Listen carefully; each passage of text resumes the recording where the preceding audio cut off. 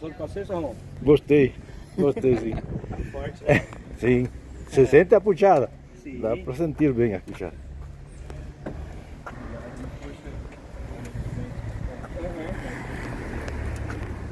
Cara, massa, hein? Gigante, é aquele cônico, né? É, foi um senhor no filtro, né?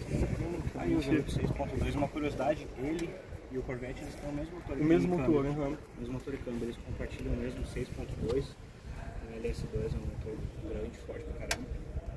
Para ficar melhor assim, não reclamando nem nada, mas acho que você vai até concordar com o manual. Sim. Seria monstruoso, cara. É, monstruoso. Se Lá nos Estados Unidos a- tem. Sim.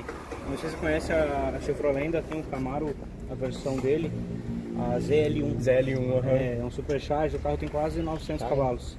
Isso de fábrica, né? Aham. Pensa, esse aqui tem 406, Aham. o ZL1 tem 870, eu acho, 860 declarados pela Sim. fábrica.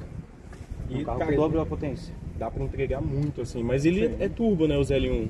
Não, é supercharge. Supercharge. Ah, tá. O legal do supercharge é, um- que ele te entrega tudo, né? É um compressor, Automaticamente. um compressor centrífugo que fica em cima do intake aqui, no lugar Uhum. da, da, da entrada normal, com um negócio desse tamanho, assim, grandão. O capô também até tem uma saliência que a. Chevrolet fez. Pra muito caramba. legal, hein? Nossa. Cara, uma pena realmente né? não, não ter muito tempo.